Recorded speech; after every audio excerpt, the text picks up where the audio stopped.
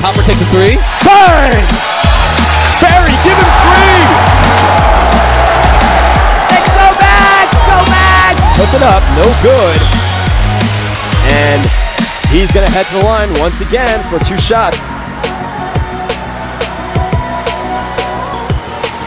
Guetta hits his second. It's 57-28 in favor of the Macs.